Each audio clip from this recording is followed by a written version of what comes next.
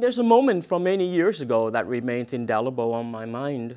I don't remember much on our way there to Waterloo, except that the countryside was streaked and blurred, light green over darker green, all under a persistent gray sky. Father drove. My older sister sat next to him and navigated a map on her lap. A pouting teenager, I sat behind with mother who complained of a mild headache and wondered out loud why we needed to find this distant battlefield and why we uh, couldn't go freshen up at our hotel after having just arrived in Belgium. It would be dark by the time we got to Waterloo had we gone to the hotel, father snapped. I didn't have to turn to know mother was rolling her eyes. If she had a choice, she would have been at the hotel and would not have been stuck in a back seat as we searched for some pasture where long ago Napoleon was defeated. I thought I saw the sign in French. I said so to father, except it took me five minutes to get around to doing this. He cursed, called me names in French. I responded in French rather rudely, which surprised him since I rarely spoke the language after we came to America. I felt terrible afterwards, and the air in the car was tense. I remember thinking, were we still in the war, and I, his subordinate father, as a three star general in the South Vietnamese army, no doubt would have me confined to the brig for whatever it was that I said. But it was half a dozen years since the Vietnam War ended, and we already turned into an American family on a European vacation, complete with a sulky teenager stuck in a back seat and his responsible but equally sullen sister stuck in front while their quarreling parents kept at it. We finally stopped and asked for directions. Father drove frantically after that. We arrived at Waterloo at last, and it was still bright out when he, my sister, and I rushed up the windswept knoll that overlooked the battlefield.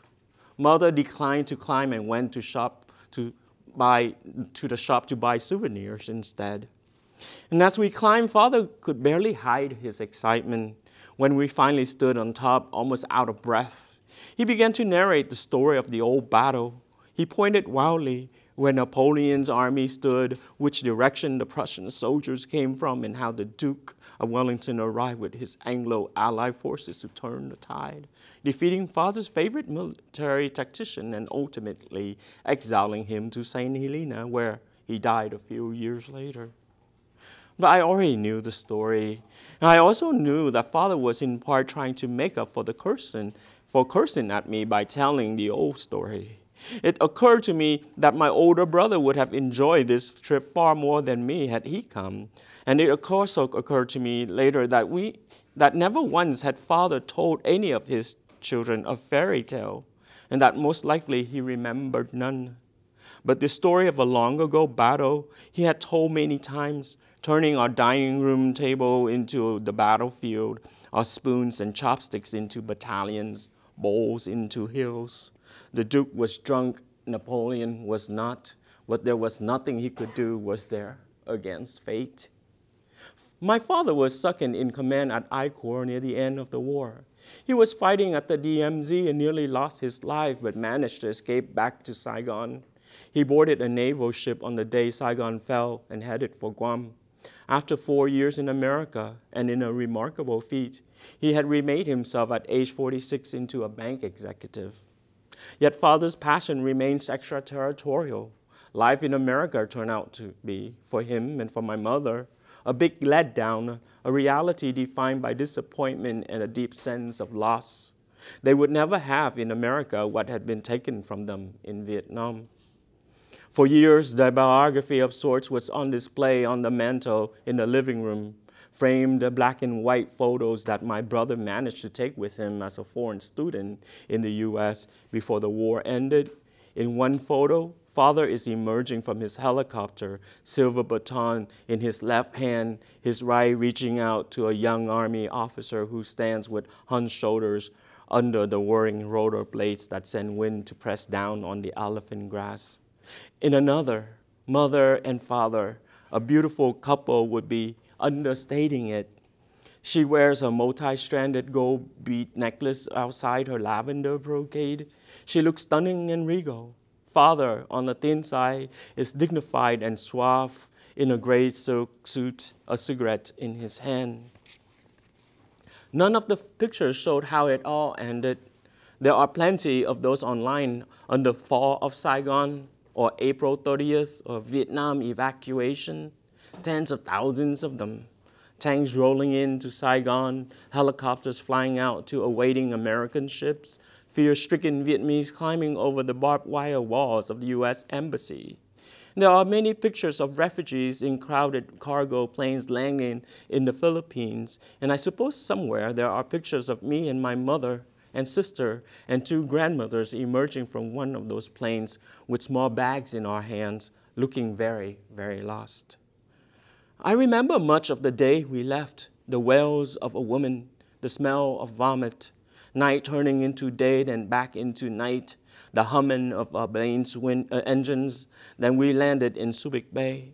Then there's another flight to Guam, then green tents flapping in the wind, a scorching sun, a very long line for food, adults weeping and screaming as the BBC announces the fall of Saigon.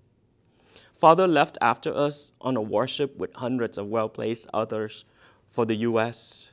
Navy base and at Subic Bay and Asylum.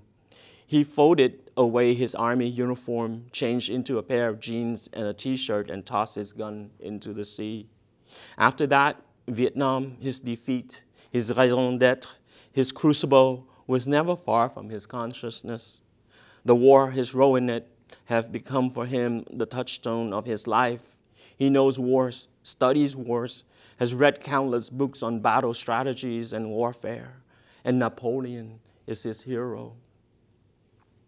After so many years of hearing about Napoleon, it should have been exciting seeing the place finally. Yet that late summer afternoon, I was no longer intrigued. I was homesick for California. I missed my lover terribly, my first love, our tender kisses, the smell of our sweat. I kept replaying our visit to the beach, with the breeze carrying the smell of the ocean and how shy we both were, yet how inextricably drawn we were to one another. The orange-red sunset and an unfinished sand castle between us. All I could think of the entire trip was getting back to California to possess to love. This was why it had taken me a long time to process that we were going in the wrong direction. It was also why, while Father talked on, I was miles away. It was only when he himself stopped talking and looked out to the far off distance, to where I suppose Napoleon fled, that I turned to look too. But I didn't see anything resembling a battlefield. What I saw was a thin gray mist drifting lazily over a green pasture below. And in the cold air, I smelled a musky odor of newly upturned earth. The pastoral scene at twilight stirred in me no martial passion, but instead poetry and an unspeakable yearning. Father talked on, his hair was tousled by the wind, his face contemplative. As I watched him, the image came to me suddenly of him on that naval ship near the Philippines. The government of the Philippines wouldn't let the South Vietnamese ship dock unless all personnel turned in their arms. I imagine him, his face creased with contemplation as he stared at his gun for some time before tossing it into the churning sea below. Something, a welling, a sharp pain, rose suddenly within me then, and it surprised me that I hadn't felt anything like it before and it felt so close to pity. It lodged in my throat, and it took some effort not to cry it out loud. There on the wind-blown hill with the statue of a lion on a pedestal above us as a memorial for all fallen soldiers, Father seemed so utterly alone. But then suddenly, so was I, frightened and full of my own inarticulate longings, I had to look away for fear that father might see tears brim in my eyes and think that I too was mourning for Napoleon's defeat. Was it not then that my life turned? Was it not then that I, still owned by a collective sense of loss, nevertheless took some profound step out from under his shadow? I went on to college in the fall, in any case, and then after bouts of bickering with my parents on to my own writing life, following my own passion. I've been to Europe a few times since then, to Amsterdam and even to Brussels. And though I think about it, even entertain the idea, not once did I feel compelled to visit that old battlefield again.